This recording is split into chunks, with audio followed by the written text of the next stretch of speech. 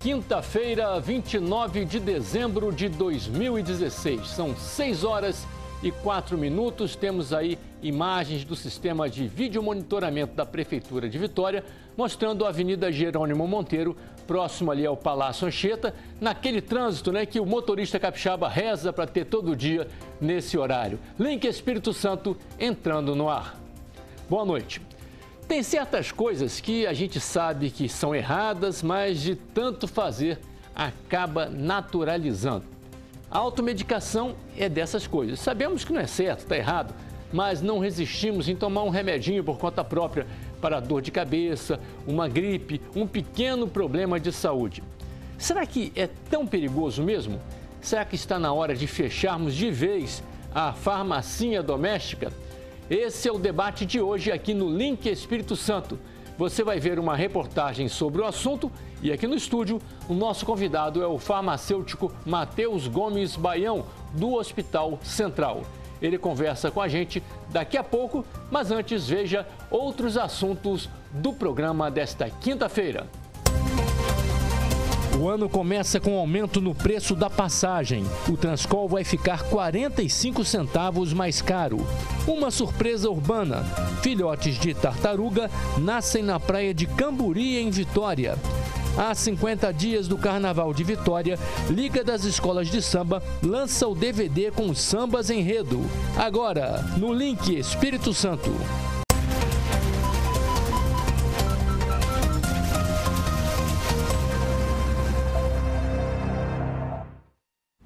E a gente já começa com a enquete do dia, aquela provocação que a gente faz todo início de programa, né? Você se automedica? Sim ou não? O seu voto é pelo nosso portal, rsim.com.br você também pode enviar a sua opinião e a sua história aqui para a Emanuela Teixeira, jornalista do portal RC. Boa noite, Emanuela. Boa noite, Torinho. Boa noite a todos. Para participar, é só enviar a sua pergunta, sua mensagem, seu comentário para o nosso WhatsApp no número 992525007 e também nas, através das nossas redes sociais, pelo Facebook, pelo Instagram e no Twitter usando a hashtag LinkES. Quer dizer, todo mundo fica sempre ligado é, numa rede social, muitas vezes, né, Exatamente. né? Assistindo a televisão, que a gente fala de multitelas, né? Assistindo com o celular na mão, ou o notebook, ou o tablet e vendo a televisão. Então aproveita, vai vendo, manda o seu voto e manda a sua opinião pelas redes sociais, que a gente vai ler aqui o seu nome, a sua história, a cidade de onde você está assistindo o programa. Enquanto isso, vamos ver uma reportagem sobre automedicação, uma solução para o alívio imediato de alguns sintomas, mas que pode trazer consequências graves, mais graves do que você imagina. Quem nunca foi até a farmácia comprar um remedinho para aquela dor de cabeça chata que resolve aparecer no final do dia? Ou para aliviar os sintomas de um resfriado? Ou ainda, aproveitou para usar o mesmo medicamento receitado a um amigo? O nome disso é automedicação. Comprar o remédio certo, porque pode estar tomando remédio para outra coisa uma coisa que não, não, não tem doença, não é aquilo ali. Tem condições isso. A Maria da Penha disse que também tem esse costume. Para ela, a demora para conseguir atendimento nas unidades de saúde faz muita gente tomar remédio por conta própria. Se for uma coisa que eu vejo que são uma gripe, que eu estou vendo que não está dando febre nem nada, eu realmente me automedico que a automedicação já faz parte da cultura do povo brasileiro, isso a gente já sabe. Mas o maior problema da automedicação são os efeitos colaterais, as consequências que os remédios causam no nosso organismo. Por isso, busque sempre a orientação de um médico. É o paciente tomar o medicamento certo, na dose certa, né? Por um período de tratamento adequado para aqueles sintomas ou para aquela é, doença que ele está sofrendo sofrendo que foi diagnosticada. Então, é, se o paciente foge desse uso, toma o que o vizinho falou para tomar, ou um conhecido já tomou e deu certo, a gente pode estar tá, tá deixando esse paciente é, com livre para sofrer os, o que? Um efeito colateral, ele pode estar tá se intoxicando, ele pode ter uma, uma reação alérgica e o que? O objetivo de, do tratamento do que ele está sentindo não seja atingido. Essa é a preocupação da Marta. Ela evita tomar medicamentos por conta própria com medo dos efeitos colaterais. A preocupação é consequência, né, que ele pode me trazer, gravar outros tipos de complicação, né, nessa questão da saúde, então a gente tem que evitar. É sempre procurar orientação médica. E passamos a conversar aqui no estúdio ao vivo com o farmacêutico do Hospital Central, o Matheus Gomes Baião, que está aqui com a gente. Matheus, seja bem-vindo ao estúdio do Link, hein? Obrigado. O que, que é, na verdade, a automedicação? Então, a automedicação seria é, o ato de utilizar um medicamento sem uma orientação e um acompanhamento de um profissional capacitado e habilitado para isso. Pois é, e na reportagem ali nós vimos as pessoas falando, não, tem que sempre que procurar um médico antes de tomar o remédio. Em alguns casos, o farmacêutico ele pode é, ser essa autoridade que vai te orientar a utilizar o medicamento? Com certeza, claro que o farmacêutico ele vai ser um profissional que vai poder orientar quanto aos medicamentos que você está utilizando, mas é, é, tem a necessidade de passar por, por, pela avaliação de um profissional médico. Agora, Matheus, num caso assim, é, casos simples, como a pessoa falou, é uma gripe que não chegou a ter uma febre, ou uma pequena rouquidão, as pessoas não, não, se sentem muito dispostas a ir ao médico, muitas vezes, para tratar desse pequeno. Uma dor de cabeça do dia a dia. É, é, nesse caso, a pessoa vai lá, busca aquele remedinho que ela está acostumada a tomar é, para gripe ou para dor de cabeça, também é considerado uma automedicação e também é desaconselhado? Com certeza qual é o problema relacionado a isso? É que muitas vezes, de repente, não é apenas uma dor de cabeça, não é apenas uma gripe. Então, o que acontece? A pessoa, quando ela se automedica, ela acaba mascarando, podendo mascarar é, uma situação, um problema de saúde um pouco mais grave. Então, é necessário que um médico faça avaliação daquela, daquele indivíduo para que se pesquise né, e, e se descubra o que, o que está causando aqueles problemas, né? Então, vamos dar, vou te dar outro exemplo. Né? Estamos nessa época de fim de ano, muita festa, muita reunião de despedida, confraternização. É a pessoa beber um pouquinho demais, tem aquela dor de cabeça que ela já sabe que é uma ressaquinha, né? Está na ressaca lá. Nesse caso, ela pode tomar um comprimido ou também não pode e tem que procurar um médico? Então, o ideal é procurar pelo menos um profissional que seja capacitado para orientar em relação à, à utilização dessa medicação, porque é, nesse caso que você citou, né? É, de repente uma ressaca, enfim, é, a gente sabe que a ingestão de álcool ela é, é tem sofre interação uhum. com diversos medicamentos e mesmo no dia seguinte a gente ainda a gente ainda tem é, resíduos né de álcool no nosso organismo e aí pode ocorrer uma interação com algum medicamento que você opte por tomar justamente para resolver aquela dor de cabeça que é causada enfim, então pelo menos a orientação do, do profissional farmacêutico, no caso, é, para ter um direcionamento melhor e que para que você tenha ciência do que aquilo pode te causar ou não, né? Certo, quer dizer, é, um, um dos grandes perigos então está nessa questão que está lá na bula, né? A interação, né? Você, um remedinho que parece inofensivo, mas interagindo com o álcool ou interagindo com algum outro tratamento que você está fazendo, que você às vezes nem lembra, né? pode causar um efeito colateral. É isso, né? O maior perigo acho que é por aí, né? Exatamente. E além de outros medicamentos e álcool, enfim, é, a gente sabe que os medicamentos também sofrem interação com diversos alimentos, por exemplo. Então, ah, com eu, alimentos também? Com alimentos também. Então, eu acho que é pelo menos buscar essa orientação do profissional de saúde mais próximo, né? Que muitas vezes é o profissional farmacêutico, acho que é válido, sim. Mas que tipo de interação com alimento? Eu fiquei até um pouco curioso, assim, que tipo de situação ocorre? Por exemplo, tem alimentos que diminuem a absorção do, do medicamento e aí, de repente, você não vai ter é, um efeito desejado, esse tipo de interação mesmo, que vão afetar é, o funcionamento ideal do, do, do, medicamento, né? Quer dizer, existem, são muitos os casos de pessoas que vão, é, que têm até o sintoma piorado por terem se automedicado e vão acabar parando no hospital?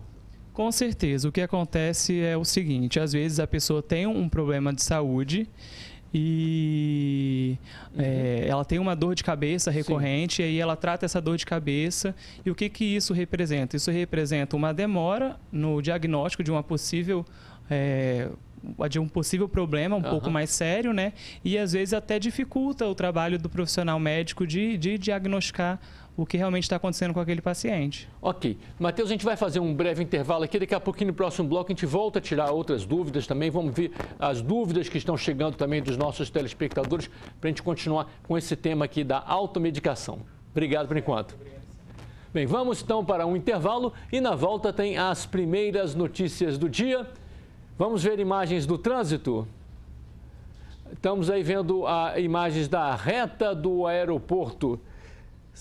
6 horas e 14 minutos. Link Espírito Santo ligado em você.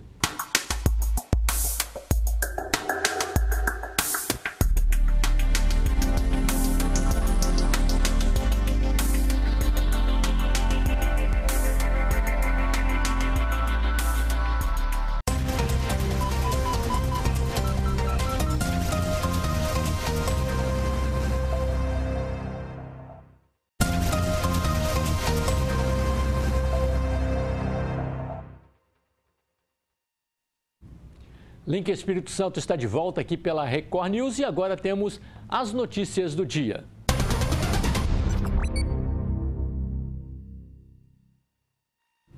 E quem já está no estúdio com a gente é a Adriana Marques. Boa noite, Adriana. Boa noite, Torinho. Boa noite para todo mundo que está em casa acompanhando o Link Espírito Santo. Adriana, às vezes a gente fala assim que é, o ano não terminou, porque começa com os problemas continuam, né? E a gente quer que termine. Mas quando a gente já vê que a virada do ano está aí, já anunciam problema para o início do ano, é o caso aí que você vai anunciar para a gente, que é aumento de passagem de ônibus, né, Adriana? É, muita gente achou que 2016 já tinha acabado, né? Acabou não.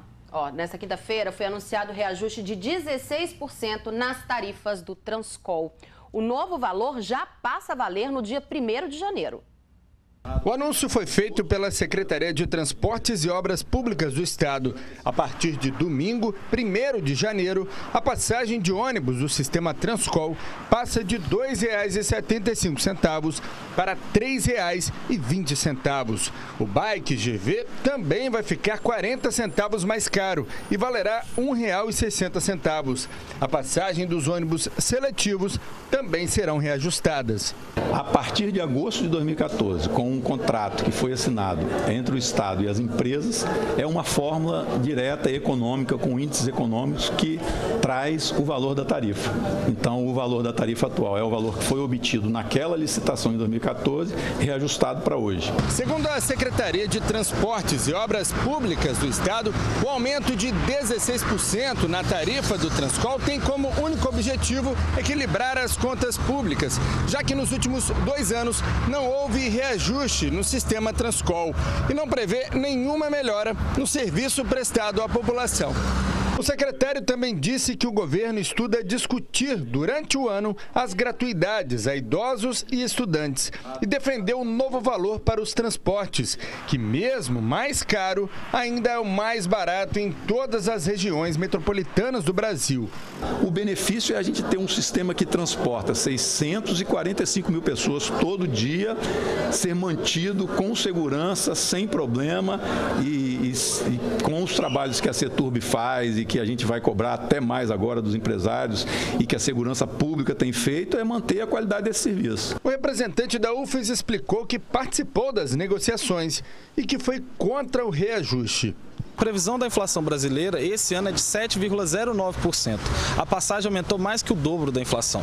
Então, o impacto para o estudante é muito grande. Nós estamos falando é, do estudante paga meia passagem, né, ele vai ter 90 centavos a mais de gasto por dia é, para poder ir para a faculdade e voltar. Né? O estudante que faz estágio, que faz menor aprendiz, vai gastar às vezes três vezes mais, porque você tem às vezes que pagar três vezes a passagem para ir para o estágio, do estágio para a escola, da faculdade, depois para casa ruas, o trabalhador também não gostou da novidade.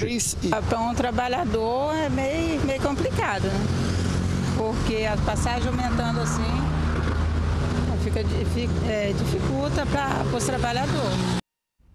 Bom, e a Secretaria de Segurança Pública divulgou hoje os dados sobre a violência aqui em Vitória. A capital teve queda de 31% no número de homicídios, segundo a CESP. Este ano, 51 pessoas foram assassinadas aqui na cidade. No ano passado, foram 74. Agora vamos falar de coisa boa? Vitória tem novos moradores e esses são muito especiais. Na praia de Camburi, a maior aqui da capital e também a mais movimentada, nasceram mais de 100 filhotinhos de tartaruga cabeçuda. Um fato raríssimo. A pequena Luma, de 7 anos, veio conhecer a base do projeto Tamara em Vitória e teve a oportunidade de conhecer assim, bem de perto, esses filhotes de tartaruga que nasceram no último fim de semana na praia de Camburi, na capital. Eu achei muito legal que eu alimentei eles. Você já tinha visto assim antes, tão de perto? Nunca. Nessas imagens é possível ver o momento exato em que os filhotes deixam o ninho nas areias da praia. São imagens raras que revelam a força da natureza. De acordo com a coordenadora do projeto Tamara em Vitória, esses filhotes de tartaruga são de outro ninho, o segundo encontrado na praia de Camburi este ano. De acordo com o projeto Tamar, nesse último ninho encontrado lá na praia de Camburi, foram depositados 122 ovos de tartaruga cabeçuda. Desse total nasceram 118 filhotes e oito deles que ficaram retidos no ninho foram resgatados e trazidos para cá, para a base do projeto Tamar em Vitória. Alguns estavam presos né, nas, nas raízes da restinga e não conseguiram sair. Então esses filhotinhos foram trazidos aqui para o projeto Tamar, né, pra, tanto para recuperação como para atrair as pessoas para poder, as pessoas poderem ver, né?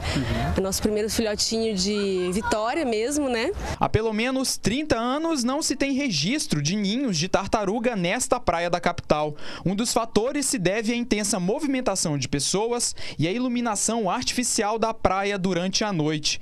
Ainda é cedo para afirmar, mas existe a possibilidade de que mais tartarugas escolham a praia para fazer seus ninhos. É possível que aconteça sim. Então a gente fica assim, super feliz né, de ter essa, esses registros, dois ainda na Praia de Camburi.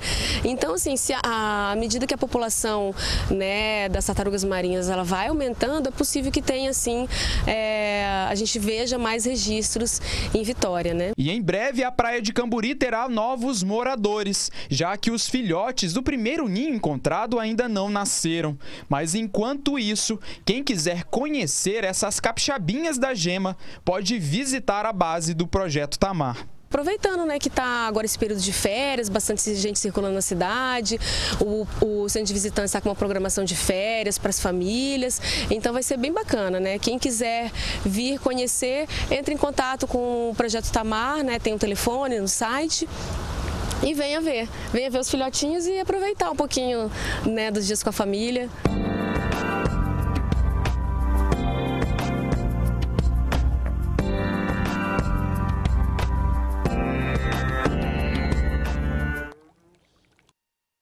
Bom, as tartaruguinhas do ninho que ainda está na praia de Camburi devem nascer entre o final de janeiro e o começo do mês de fevereiro.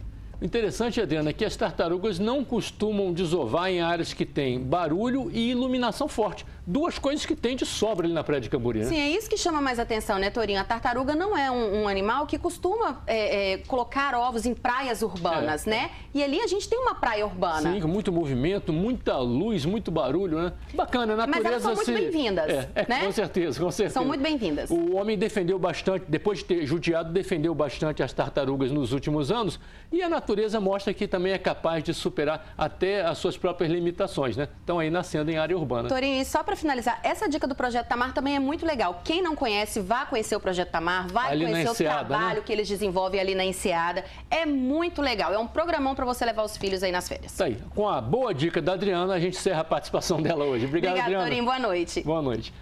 Calor excessivo, excesso de comidas e bebidas no fim de ano e nem sempre isso termina bem. Aí você resolve tomar um remedinho por conta própria e aí está pronta a automedicação. Participe da enquete de hoje. Você se automedica? Sim ou não? Eu quero saber a sua opinião, hein? Sim ou não? Você vote, você vota ali pelo r5.com.br barra enquete E já temos, será que nós temos já a primeira em, a parcial aqui com a Emanuela? Temos, Torinho. A primeira parcial mostra que 70% dos nossos internautas dizem que sim, que se automedicam. 70% aí? 70%. Eu estava achando até que ia dar 100%, hein, Matheus? É, mas é uma quantidade preocupante. É, com certeza. 70%, 70%. É Temos também perguntas aqui, né? Temos. A, o Paulo Santos de Cariacica conta que tem o costume de tomar paracetamol quando está com dor de cabeça. E ele diz que tomou ansiolítico durante um ano, um ano atrás, e até hoje sente alguns efeitos, como tontura e náuseas. Ele pergunta se com o tempo os sintomas desaparecem. Em quanto tempo esses sintomas desaparecem? Sim, na verdade, é, os ansiolíticos eles têm um, um certo problema relacionado à descontinuação do tratamento. Então, assim, provavelmente ele faz acompanhamento com, com o médico, né? Ele deve relatar ao médico com quem ele fez o tratamento que ele ainda está sentindo efeitos, né?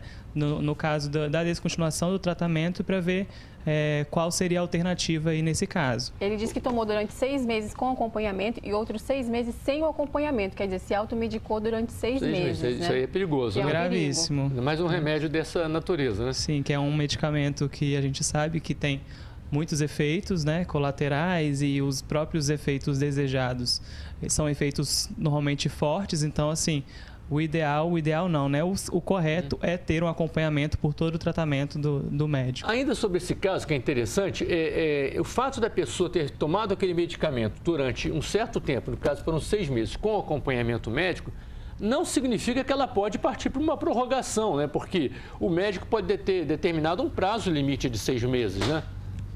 Com certeza. E outra coisa, é, ele, ele fez o tratamento com acompanhamento por seis meses e aí fez por mais seis meses por sem acompanhamento e aí interrompeu o tratamento, certo? Então aí já tem outro problema que é a questão do, da, interrupção do tratamento, né? É, normalmente é uma interrupção que tem que ser feita de forma gradativa, então é, a orientação médica é indispensável. Agora, Matheus, ele fala também do, do, No início ele começou assim tranquilinho, falou que tomava paracetamol. Para dores de cabeça. Paracetamol é. e dipirona são os mais comuns, né? O que as pessoas mais tomam. Mas também são medicamentos que precisam, mesmo sendo vendidos livremente, eles precisam de uma orientação médica? É, sem dúvidas. É, os analgésicos são medicamentos que são muito utilizados junto com os anti-inflamatórios e a dipirona e, e o paracetamol, o paracetamol em específico, tem um problema muito sério de interação com o álcool. Então, assim, é um medicamento que, em associação com o álcool, ele pode causar problemas renais, é, hepáticos, na verdade, né?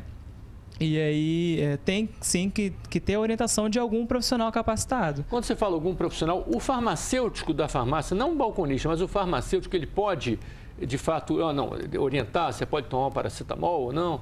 Na verdade, o que, que o farmacêutico é, vai ter que fazer? Ele vai ter que, é, em uma conversa com, com o paciente, né, avaliar é, qual é a situação da automedicação, enfim, e se ele achar, é, na verdade, que, que tem necessidade, orientar que, que se procure é, um atendimento médico mesmo, né? Ok. Vamos para outra pergunta? É, o Giovanni Santana de Linhares comenta que usa remédios alternativos, como os chás de ervas e infusões para tratar dores e até para tratar ferimentos dos filhos pequenos. É, da última vez, ele comenta que da última vez em que ele usou ervas para tratar o ferimento de um dos filhos, a lesão evoluiu para uma infecção. Ele pergunta se as plantas podem causar infecção. Então, na verdade, essa pergunta é um pouco complexa. Eu não saberia responder se plantas podem causar infecção. Mas eu tenho um alerta para fazer em relação a, a esses medicamentos é, de origem natural e os fitoterápicos. Essas receitinhas caseiras. Isso, exatamente. Tudo isso é, deve ser considerado como medicamento mesmo, entendeu? Porque eles também sofrem é, interações no nosso organismo, tanto com alimentos como com outros é, medicamentos, né?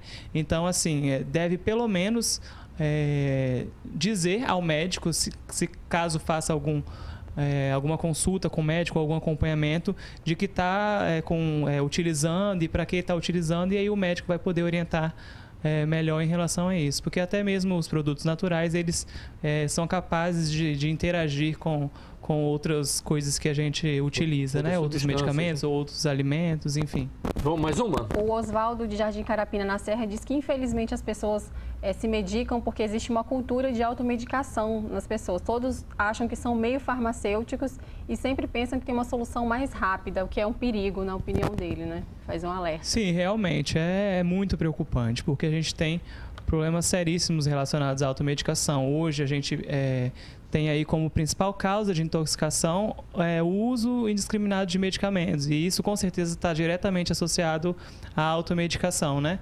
Então, assim, é, é, buscar a informação de quem realmente está capacitado para te passar a informação, é buscar atendimento médico e aí é tratar da melhor forma possível aquilo que você precisa é, tratar realmente. Ok, a gente vai dar um intervalo agora para fazer um, um, um comercial.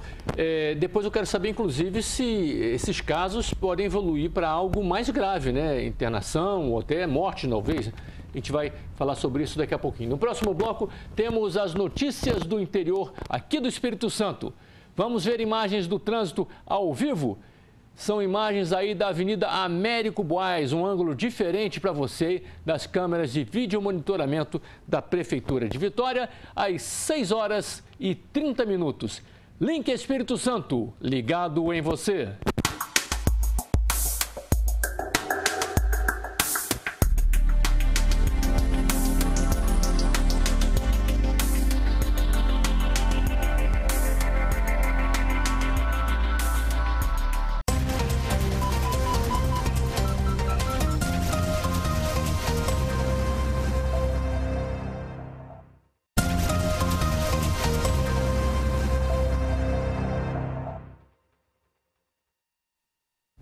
Link Espírito Santo está de volta e agora temos as notícias do interior. E a gente começa o nosso giro por Linhares, no norte do estado. A falta de salva-vidas preocupa. Cláudio Alves, boa noite para você. Olá, Torinho, boa noite para você, boa noite a todos. O verão, claro, já começou e aqui em Linhares os principais balneários continuam sem a presença dos guarda-vidas. Dos 50 profissionais que tradicionalmente atuam durante o verão nas praias e lagoas, apenas 23 foram treinados, mas sem equipamentos estão sem trabalhar. O sol forte e as altas temperaturas dos últimos dias têm atraído pessoas às praias e lagoas de Linhares. A estação mais quente do ano começou desde o dia 21 de dezembro. Só que os banhistas estão tendo que redobrar a atenção, já que os 23 salva-vidas contratados ainda não começaram a atuar no município. A prefeitura, ao longo dos últimos anos, sempre tem contratado em torno de 50 guarda-vidas. É, ocorre que nós estamos num processo de profissionalização dessa atividade. E, e, para que possamos profissionalizar a atividade, nós tivemos que fazer uma série de mudanças na carga horária, na grade curricular e nos critérios de exigência dos guarda-vidas candidatos. E esses critérios envolveram um teste físico um pouco mais é, rigoroso, envolveram a apresentação de documentação de escolaridade, que uma grande parte deles não tinha. Então, mesmo sendo bom, é, bons guarda-vidas, mas a questão escolar afetou porque eu preciso de um nível de escolaridade mínimo para dar um certificado que tem uma validade estadual ou de nível nacional. Por conta dessa defasagem de profissionais, a maioria das praias pode ficar sem guarda-vidas.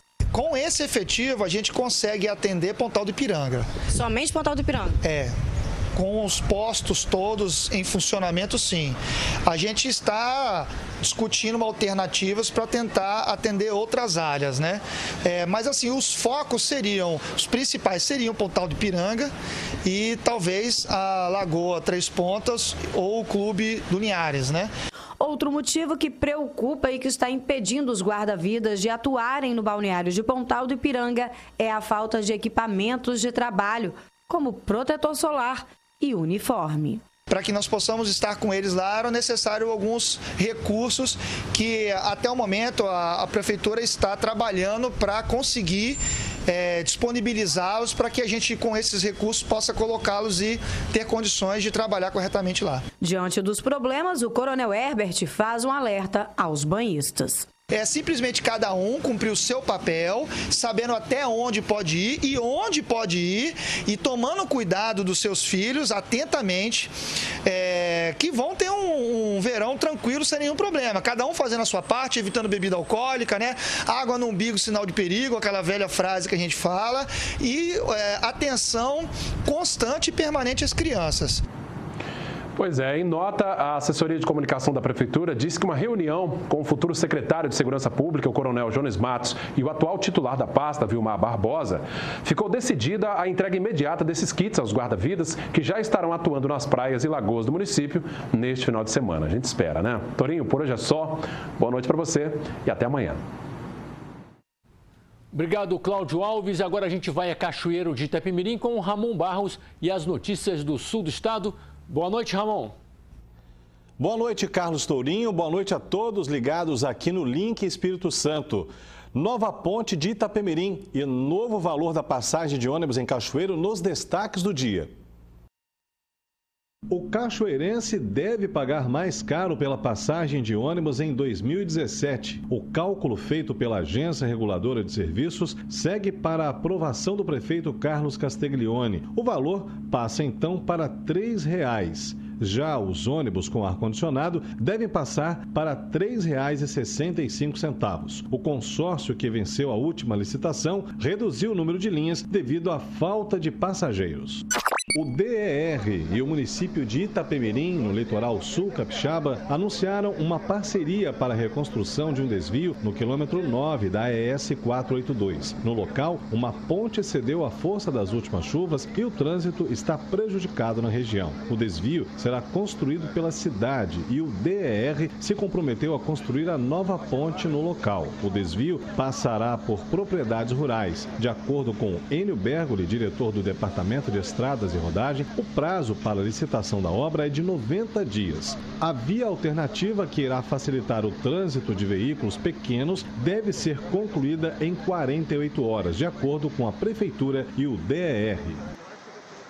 Bom Torinho, a aviação Itapemirim agora foi vendida para um outro grupo de São Paulo. E nós estivemos dentro da aviação Itapemirim para apurar o que está acontecendo e trazer em primeira mão para os nossos telespectadores. Nossa equipe foi a primeira empresa de comunicação a entrar dentro da aviação Itapemirim depois dessa venda. Vamos conferir os detalhes. Aviação Itapemirim tem novos donos. Um grupo empresarial de São Paulo comprou sete empresas do comendador Camilo Cola, entre elas a aviação Caiçara, que está sendo integrada à aviação Itapemirim em Cachoeiro. O grupo corporativo está no processo de recuperação judicial. Ninguém está autorizado a falar, mas a assessoria de comunicação da empresa informou que existem cerca de 400 funcionários atuando em diversos setores e a tendência é de Bem, Tivemos um problema aí com o restante da exibição da matéria, mas vimos aí a questão da a notícia né, sobre a venda da aviação Itapemirim do empresário Camilo Cola, que de fato faz parte da história do Espírito Santo. Né? A venda da Itapemirim, que vinha atravessando problemas financeiros, é, marca o fim de uma era onde a Itapemirim, sob o comando de Camilo Cola, chegou a dominar o mercado nacional de transporte terrestre.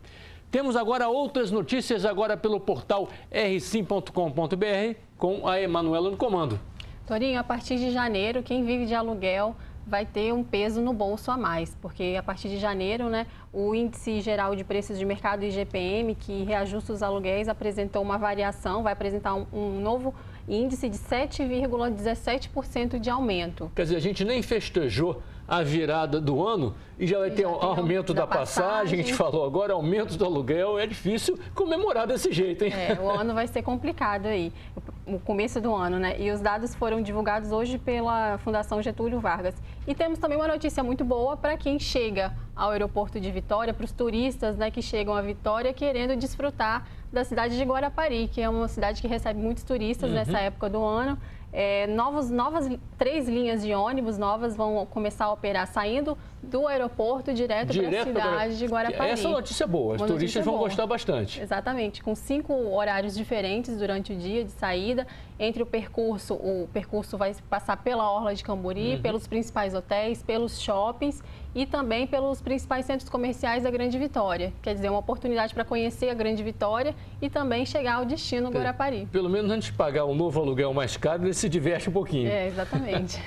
Bem, falar em diversão, o Carnaval Capixaba já começa a entrar no ritmo e já tem música para o desfile. Assunto da entrevista exclusiva de hoje. Adriana Marques.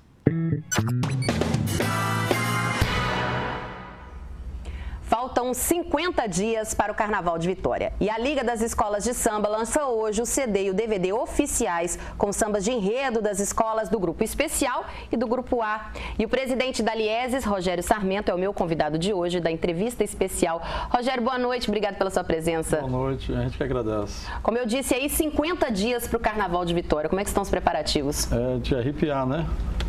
é, muito poucos dias, né, faltando né, para muito trabalho, mas as escolas é, envolvidas, comprometidas, é, perdendo noites para que consigo realizar um grande carnaval. E vamos ter um grande carnaval. No final tudo acaba dando certo, né, Rogério? No final dá tudo, tudo termina em samba, né? Então Isso. pode ter certeza que vamos ter mais um grande desfile no Sambão do Povo.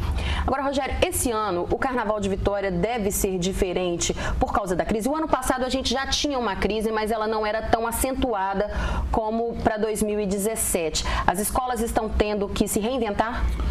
É, o sambista tira de letra essa palavra crise, porque ela existe para o samba há anos.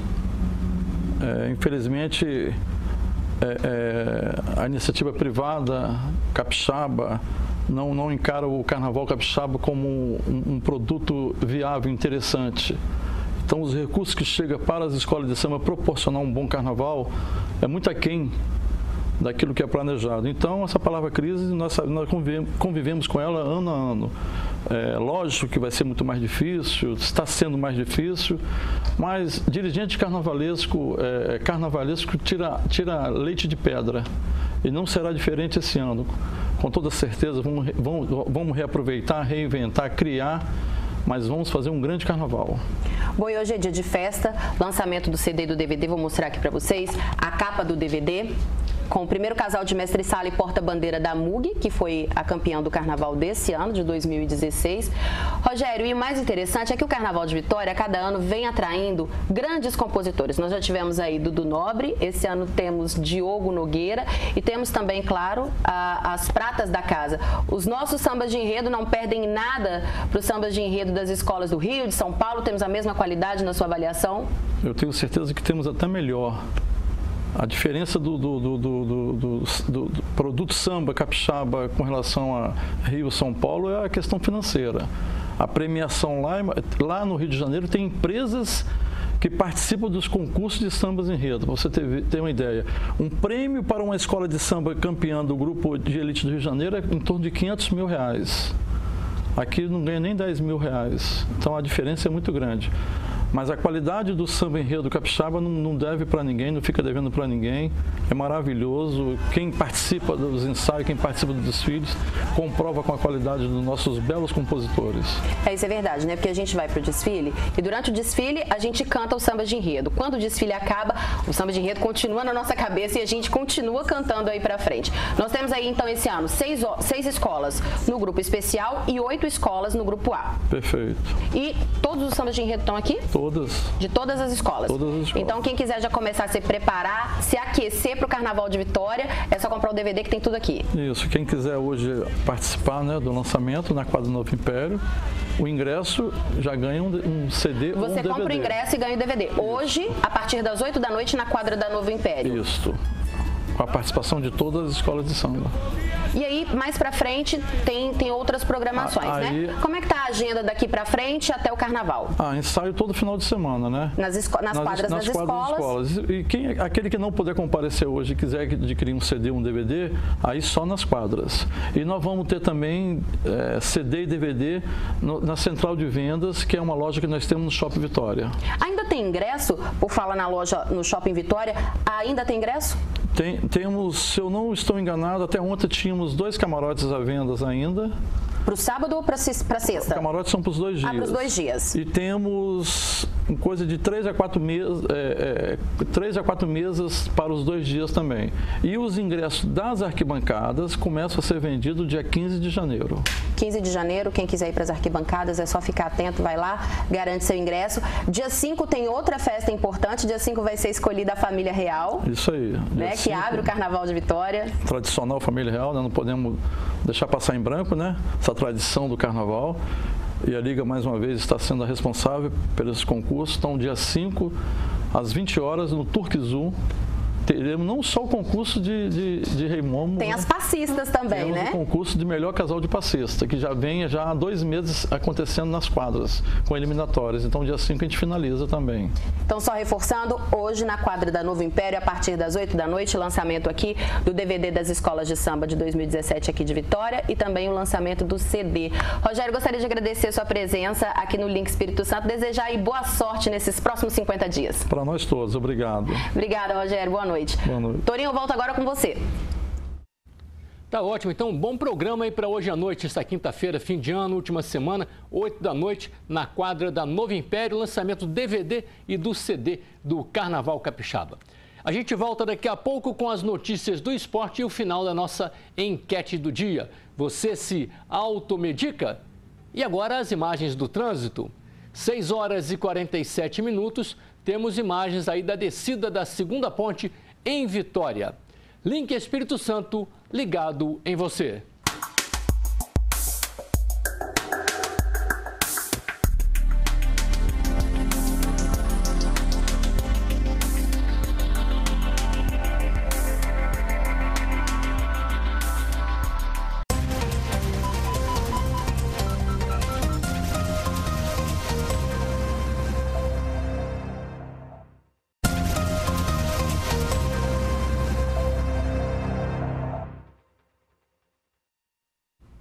Já estamos de volta com o Link Espírito Santo e agora é hora das notícias do esporte com Paulo Duarte.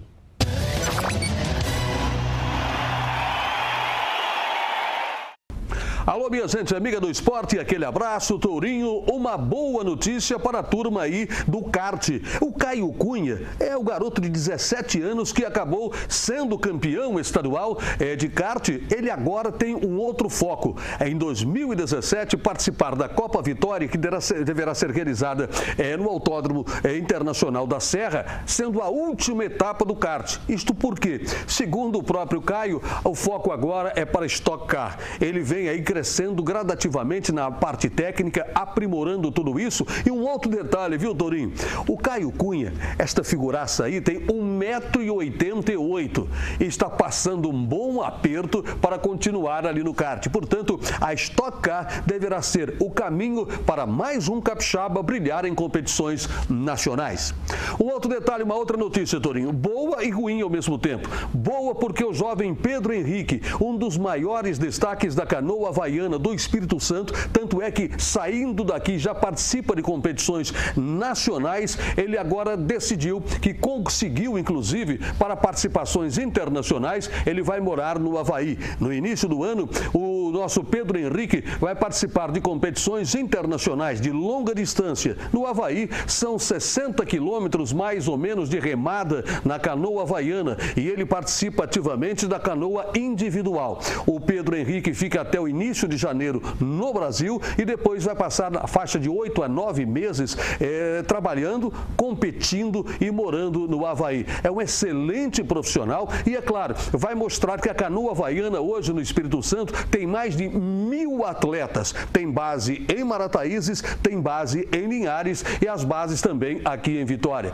Nós daqui do Link, né, Tourinho, desejamos aí uma boa viagem para o Pedro Henrique e que ele consiga aí é, elevar ainda mais o nome do Espírito Espírito Santo, o nome do Brasil, na competição de canoa havaiana internacional. Mostra que também é um esporte, Tourinho, que vem crescendo muito, apesar de ser um pouco mais caro, lógico que o remo, a canoa havaiana vem mostrando aí essa condição e essa qualidade dos nossos atletas. Embora tenha agora uma concorrência direta, que é também um outro tipo de canoa, parecida com a canoa havaiana, mas que não é, mas que vem também dando trabalho aí à rapaziada da canoa havaiana, que é maravilhosa. É isso aí, Tourinho. Sexta-feira de volta com o final, o último dia útil das coisas do esporte e os preparativos aí para 2017, principalmente dentro do futebol brasileiro. O futebol capixaba também tem novas histórias para contar.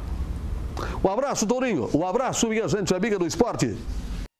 Obrigado, Paulo Duarte. De fato, aí a canoa havaiana já foi adotada como esporte aqui no Espírito Santo. Pessoal, a rapaziada, está gostando muito é, de participar é, desse esporte. Você se automedica? Resultado final da nossa enquete dessa terça-feira. Quem tem os números é a Emanuela. 76% dos nossos internautas dizem que sim, né? Subiu, né, o percentual, Subiu, né? de 75% para 76% que dizem que se automedicam, enquanto 24% dizem que não. Esse número, o que, que você me diz, Matheus? Preocupante. Né? Preocupante, e aí a gente observa, a gente percebe a importância né, de ser discutido e e conversado e orientado, porque é uma prática que realmente vem, vem sendo é, bem crescendo né, na população e é uma prática incorreta que pode trazer sério, sérios prejuízos. Agora, a gente não vê indivíduos. campanhas públicas eh, dos farmacêuticos, Conselho Regional de Farmácia, sobre isso. Na verdade, a gente tem bastante, bastante campanha relacionada ao, ao uso racional de medicamento, né? A, contra a automedicação, uhum. enfim. É, tem que ver, verificar de que forma que isso está sendo passado, por que, que não está atingindo, atingindo né? grande parte da população. Né? Matheus, também é, é, outras coisas que acho que estimulam muito a automedicação é a publicidade de remédios, ela é, costuma ser sedutora, né? ela promete soluções miraculosas né, para os problemas, e quem que não gosta de uma, de uma solução fácil, né? E também as próprias farmácias viraram mercados atraentes, é, feitas num, num, regime de self-service, né? Você vai lá, escolhe o medicamento que você quer, passa no caixa e, e paga, né? Isso facilita também muito essa cultura da automedicação, não é? Com certeza, isso é uma questão que entristece a classe farmacêutica, né? É, o afastamento do, da drogaria ou farmácia é, do estabelecimento de saúde, que é o, o, que realmente é um estabelecimento de saúde e passa a ser um comércio, né?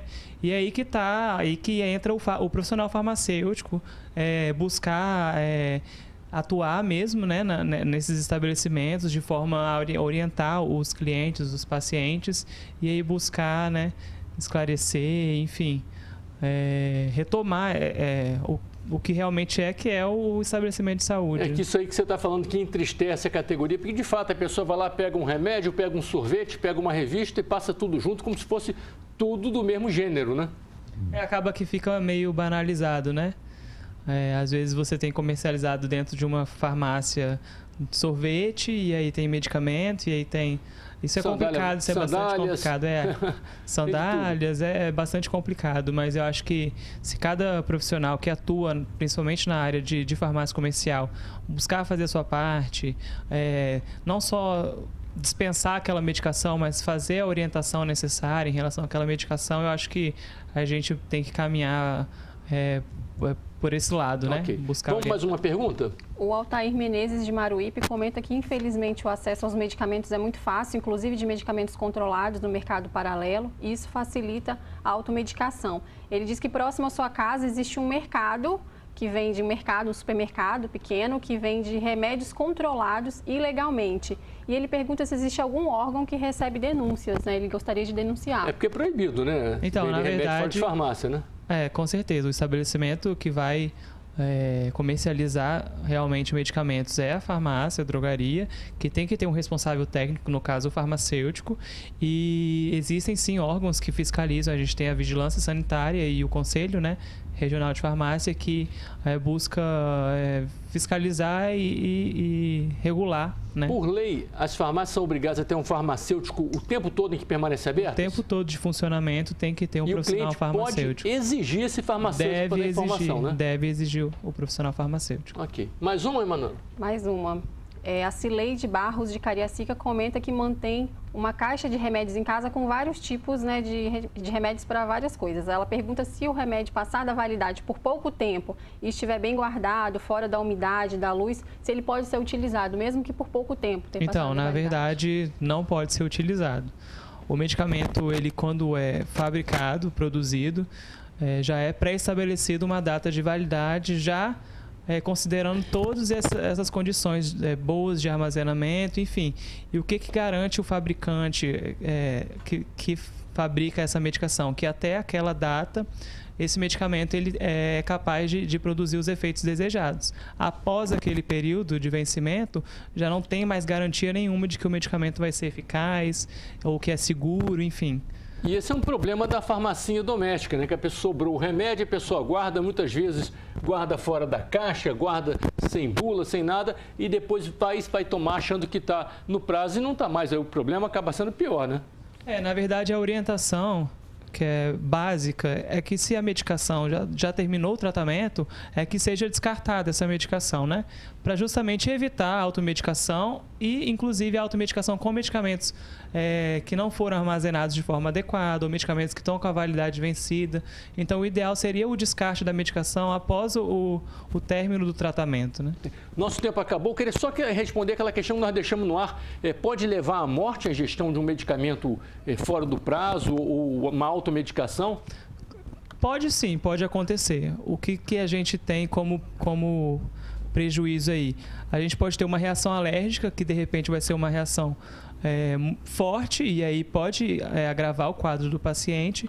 E tem aquela situação que eu já, já havia colocado, que é, é um tratamento que vai mascarar uma possível doença um pouco mais grave e aí você trata os sinais e sintomas e acaba que não trata a doença em si. Então aí quando se descobre o que realmente era, já é talvez de repente um pouco tarde. Ok. Queria agradecer, Manuela, os nossos telespectadores que participaram pela internet. Obrigado também ao Matheus Gomes Baião, farmacêutico, Obrigado, pelas informações e os esclarecimentos que você trouxe aqui pra gente. Obrigado. A gente vai encerrando o Link Espírito Santo dessa quinta-feira dia 29 de dezembro. Está acabando o ano, hein? Uma ótima noite, um bom descanso. Vamos às imagens do trânsito.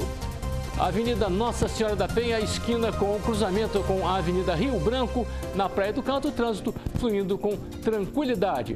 Record News, informação para você crescer. Boa noite, até amanhã.